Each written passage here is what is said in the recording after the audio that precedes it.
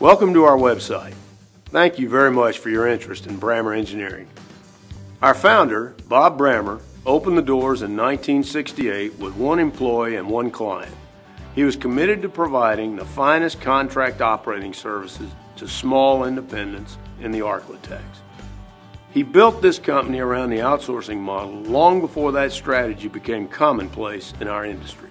Today, almost 50 years later, we continue to build on the foundation that Bob built for us. We now conduct operations in many of the producing regions in the lower 48 and Alaska as well. We have consultants placed in many corners of the world. Our clients range from global E&P giants to one or two person shops. You'll find our business model located on this website. We help our clients achieve their objectives by providing the full range of services on that model.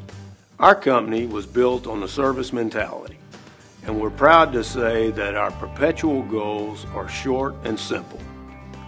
Serve our clients, maximize production, minimize cost, work safely, and protect the environment.